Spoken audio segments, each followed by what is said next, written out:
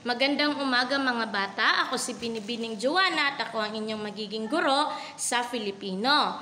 Ngayon, bago natin simulan ang ating talakayan, kunin muna ninyo ang inyong mga kwaderno sa pagbabaybay dahil tayo ay magbabaybay. Naintindihan? Okay, ngayon, andyan na ba ang inyong mga kwaderno? Okay, magaling.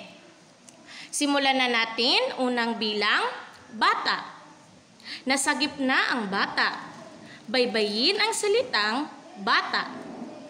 Ikalawa, bataan. Nakatira si Lola sa bataan. Baybayin ang salitang bataan. Ikatlo, bangin.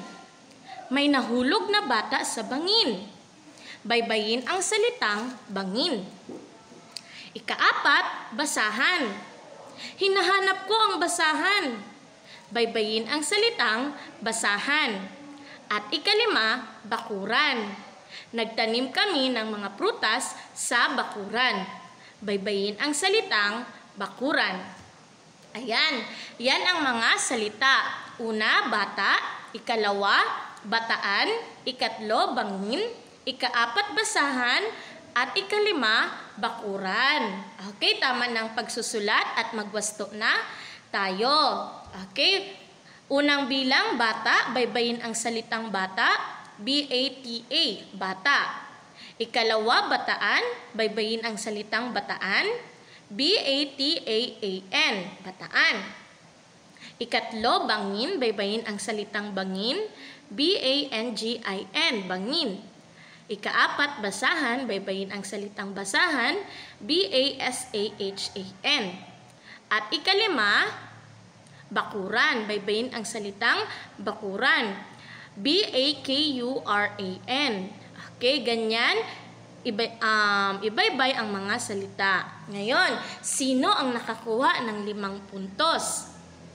Okay, magaling. Sino naman ang nakakuha ng apat na puntos? Okay, magaling pa din. Tatlong puntos. Magaling pa din. Dalawa. At isa. Okay. Uh, palakpakan natin ang ating mga sarili. Okay? Magaling.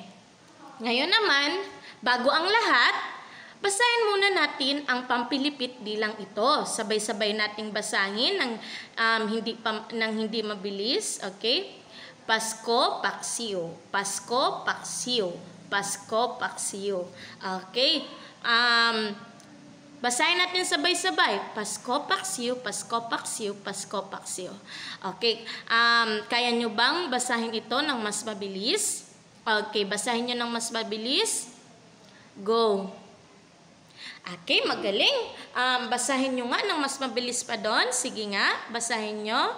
Go. Okay, sabay-sabay. Pasko, paksiw, Pasko, paksiw, Pasko, paksiw. Okay, namilipit ba ang inyong mga dila? Ayan. Ngayon naman, may babasahin tayong mga pangungusap. Okay, handa na ba kayo? Ayan. Sige nga, basahin nga natin ang mga pangungusap na ito. Okay, unang pangungusap. Masipag ang tatay at mapagmahal ang aking nanay. Sino ang pinag-uusapan natin sa pangungusap? Si tatay at si nanay. Sino ba ang masipag? Si tatay. Sino ang mapagmahal? Si nanay. Magaling. Kalawang pangusap, Siman si tatay, samantalang ang nanay ko ay sa Hong Kong nagtatrabaho. Sino ang pinag-uusapan natin sa pangungusap?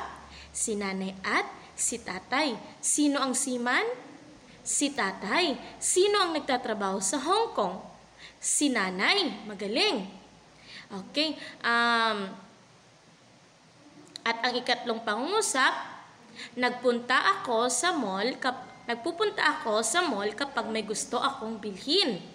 Ayan, an- sino ang pinag-uusapan natin sa pangusap? Ako. Ano ba ang ginagawa mo? Nagpupunta sa mall. Kailan? Kapag may gustong bilhin. Okay, ayan. Ngayon, may napansin ba kayo sa pangusap? Opo, meron. Ano, ano yon? May mga salitang nakabold. Ano ba ang mga salitang nakabold na yon? Ang at, very good, very good. Um, ano pa? Samantalang, magaling. At kapag, Okay, ang tatlong salitang ito, ang mga salitang nakabold sa tatlong pangungusap, ang at, samantalang at kapag. Ngayon, pamilyar ba kayo sa mga salitang ito? Okay, kung pamilyar nga kayo sa mga salitang ito, ano ba ang tawag natin sa mga salitang ito? Ito ay ang mga pangatnig. Magaling. Okay, ngayon ang pag-uusapan natin ay tungkol sa paggamit ng pangatnig. Anong pag-uusapan natin? Tungkol sa paggamit ng pangatnig. Handa na ba kayong makinig? Okay, kung handa na kayong makinig, umpo kayo ng maayos, ma- um, mata sa akin, at makinig sa akin upang maintindihan ninyo ang ating tala- tatalakayin. Naintindihan? Okay. Ngayon, pag-usapan natin ang paggamit ng pangatnig. Okay, ang katagang nag-uugnay sa mga salita, parirala o sugnay na magkakasunod ay tinatawag na pan- pangatnig. Okay, ang mga katagang nag-uugnay sa mga salita, parirala o sugnay na magkasunod, magkasunod ay tinatawag natin ano? Pangatnig. Pag sinabi natin katagang nag-uugnay sa mga salita, parirala o sugnay, anong tawag dito? Pangatnig. Ngayon, ano ba ang pangatnig? Ito ang mga katagang nag-uugnay sa mga salita, parirala o sugnay na magkakasunod. Okay, ngayon, tandaan ninyo na maaaring magkaroon ng kombinasyon ang mga kataga. Okay? Maaaring magkaroon ng mga kombinasyon ang mga kataga. At ngayon naman, um, Papa, um, ipapakita ko sa inyo ang halimbawa ng mga pangatnig. Okay, sa mga pangungusap na ating ginamit kanina, ano-ano ang mga pangatnig na ginamit natin? Ang pangatnig na at, samantalang at kapag. Ito naman ang ibang pangatnig. Okay, meron tayong at, ni, o, at pag. Meron tayong ngunit, subalit, datapwat, at kapag. Meron tayong saka, pati, samantala at sapagkat. At meron tayong maging kung kaya at bagkus. Okay, meron pa. Andito pa. Meron tayong maliban, manapa, palibhasa, kung kaya. Sumakatuwid, di umano, bagaman, kundi. Gayon din sa halip, sakali, sa madaling salita. Okay, hindi lang yan. Meron pa. Ito pa. Uh, meron tayong pero, kung sa bagay, kung gayon, kaya naman. Sakali, gaya, sana, at anupat. At meron tayong dahil magkagayon man habang sa kabila nito. Palibhasa upang kasi at kahit. Okay, yun ang mga pangatnig. Yun ang mga halimbawa ng pangatnig. Naintindihan?